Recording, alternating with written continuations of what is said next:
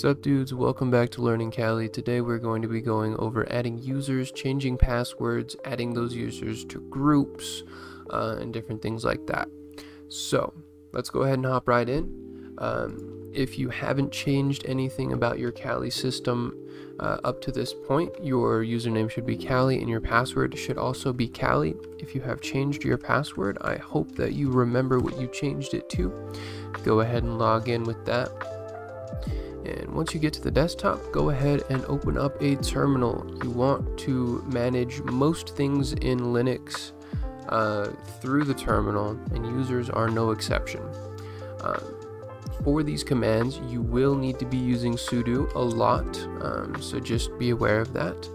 Uh, we are changing fundamental system uh, files here, and so uh, sudo is required. Uh, so first off, um, you're gonna see some of these suggestions because I've done a couple takes of this video and it's gone horribly wrong a couple times so uh, just ignore those. Um, first off what we want to use what we want to do is type add user and then the username that you want.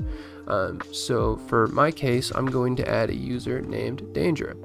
Uh, and one thing that you want to avoid is I know that uh, you know capitalization is proper um, but if you do this it is not going to work. So it's going to ask you for your Kali password. Uh, if you type that in it's going to say please enter a username matching the regular expression blah blah blah. It doesn't give you a uh, an easy answer. Basically this is saying don't use caps in your username. Um, so all you got to do is uncap your username and this will be fine. Uh, you can use the dash dash allow bad name option uh, as it says here. I would not recommend it. Just bite the bullet, lowercase the first letter. You're fine.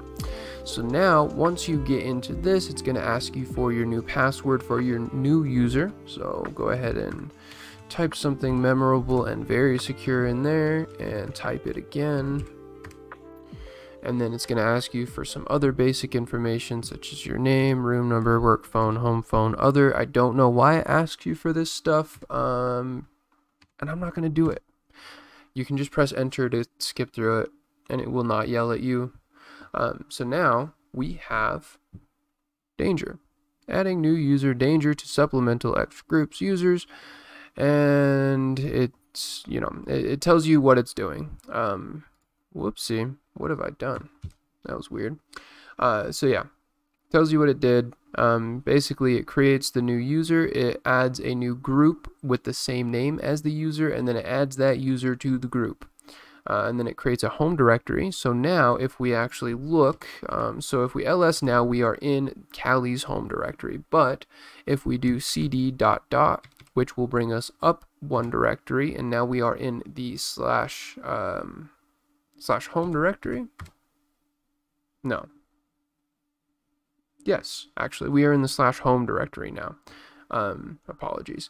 Uh, the slash home directory lists uh, the home directories of all of the different users that we have on our system. So as you can see here, we have Danger, Kali, and Please Sub, Oh God Please, uh, which was from a previous take. I did not know that was going to be in here. Um, so yeah. This allows us to see what users are on the system, who has a home directory, and so we could actually cd into the danger directory and, oh, permission is denied. Well, how about this? No? Doesn't want me? Huh. CD command not found. CD is a shell built-in command. It cannot be run directly. So you can't run CD with sudo.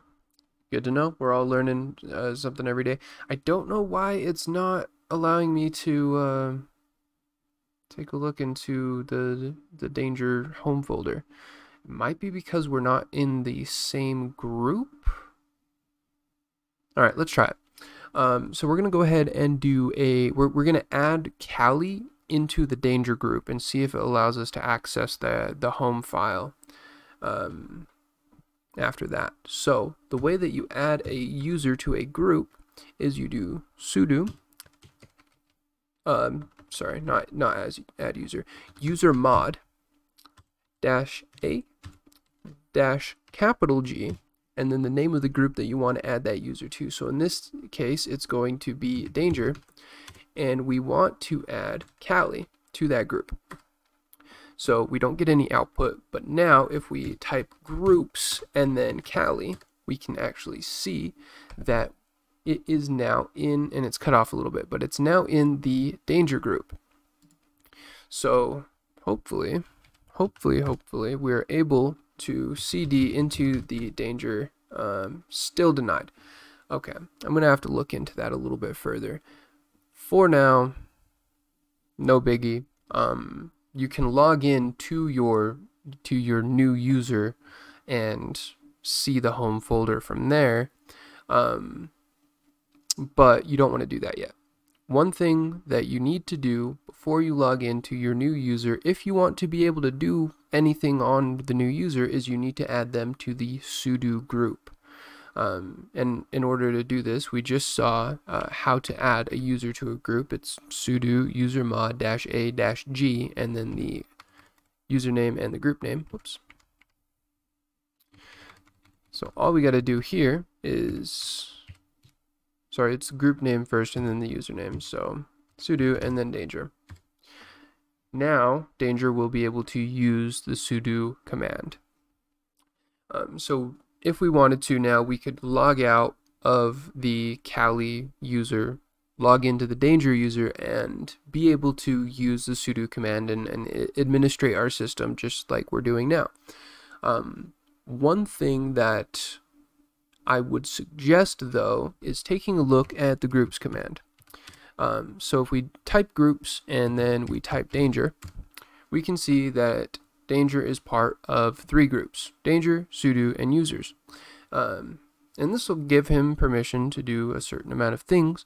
But if we look at the groups command for Kali, we're going to see that we're actually part of a lot more groups here.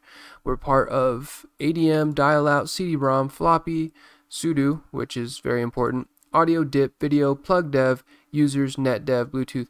Um, and then there's some really important ones like Wireshark, Scanner. Um, I'm not sure what KA Boxer is, but it's part of a lot more groups. So if we want the full functionality of Kali Linux on our new user, on our on our danger user, we are going to have to add them to all of these groups. So in the case of Kali Linux, I would actually not suggest creating the new user, um, just because uh, you, you kind of have to go through all the work of adding them to all these groups and stuff, um, where you can change your password for the Kali user and it's going to be just as secure. But if you do want to make a less privileged user or something like that, then definitely make new users for sure. But in this case, I'm actually just going to stay on the Kali user. Um, also, I would have to customize the terminal again, which I don't want to do. Um, so yeah, I'm going to stay in this in this user. Uh, so how do we delete a user now? Since I'm not going to switch over to it, I might as well get rid of it, right? Um, so the way that we delete a user is we type sudo del user, the username, and enter. And if we do that, group danger not removed because it has other members. Uh-oh. So it removes the cron tab and it removes the user. Uh, it did not remove the danger group because the Kali user is in that group. Um, so we're going to have to remove Kali from that group first and then we can delete the, the danger group. Um, also, one thing that you will see is if we ls, the danger home folder is still present. Um, and we, you know, obviously we deleted the user. We don't need their home folder here anymore. so what do we do here? We actually need to add a few more options to the del user command. So sudo del user, and then we need to do dash dash remove dash home, which will remove their home folder. And you can also do dash dash remove dash all dash files and then the username. And this will remove everything associated with that user. Um, but we already deleted the user. Very unfortunate. Let's go ahead and try to add that back. Okay.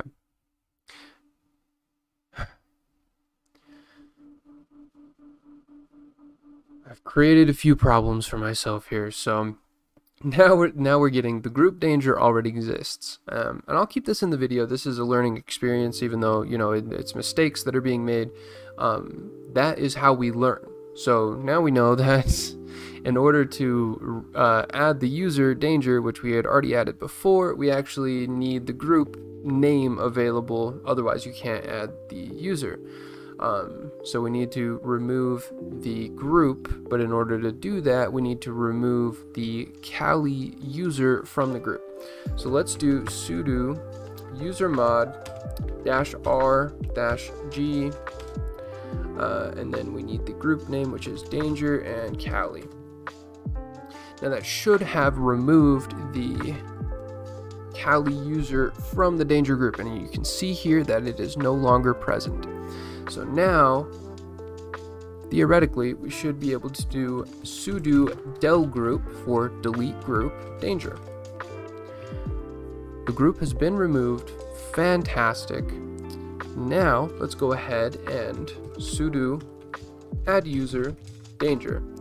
And the reason we're doing this is so we can fully remove the user instead of just doing the kind of half remove thing that we did before. So password, I'm just going to make something quick go through that. Yes, the information is correct. It creates everything. Uh, and now if we ls, we can see that it didn't create another danger home folder. We still only have the one.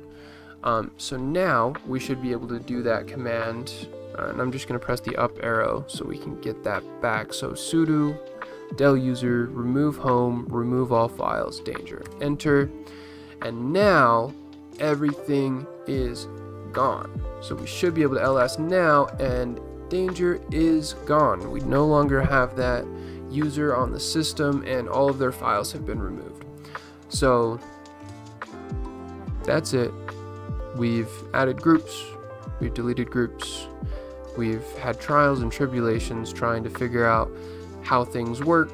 Um, but we got here and we learned a few things along the way that I didn't even know. So uh, hope you guys enjoyed. Hope you learned something. Um, in the next video, we'll be going over a little bit more of customizing Kali Linux, uh, managing processes. Uh, maybe that'll be two videos, but yep. Go ahead, uh, drop a sub if you if you would like. As you can see here, need those subs. Please sub. Oh God. Uh, and yeah, till next time.